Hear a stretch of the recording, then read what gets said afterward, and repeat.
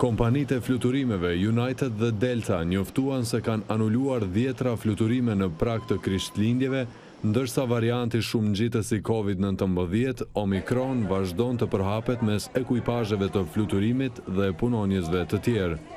United me seli në Chicago tha se anuloi njëqind e njëzet fluturime të planifikuara për të premten, ndërsa Delta me seli në Atlanta tha se anuloi rreth nëntëdhjetë. Përhapja mbarëkombëtare e rasteve me Omicron këtë javë pati ndikim të drejtpërdrejtë në ekuipazhet tona të fluturimit dhe ata që udhëheqin operimin tonë. Si rezultat, ne jemi të detyruar të anulojmë disa fluturime dhe po njoftojmë klientët e prekur para se të vijnë në aeroport, njoftoi kompania United.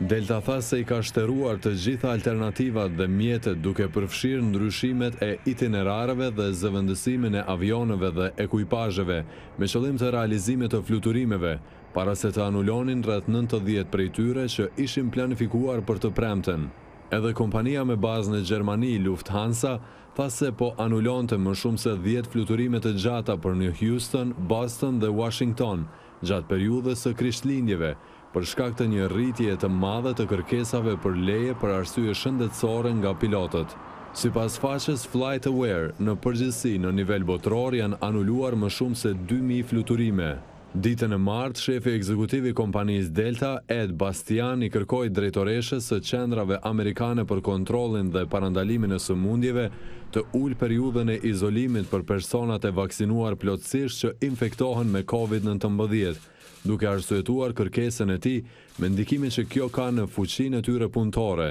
Ai kërkoi që periudha e izolimit të shkurtohej në pesë ditë nga dhjetë sa është aktualisht. Kjo kërkesë është mbështetur edhe nga grupi tregtar që përfaqëson transportuesit kryesorë të mallrave dhe pasagjerëve Airlines for America dhe kompania JetBlue, të cilat po ashtu iu drejtuan CDC-së. Qendrat për Kontrollin dhe Parandalimin e Sëmundjeve të enjten publikuan udhëzimet e përditësuara të izolimit për punonjësit e kujdesit shëndetësor, duke shkurtuar në shtatë ditë kohën e karantinës për punonjësit që rezultojnë pozitivë për Covid nëntëmbëdhjetë, por që nuk kanë simptoma dhe që pas ritestimit rezultojnë negativë.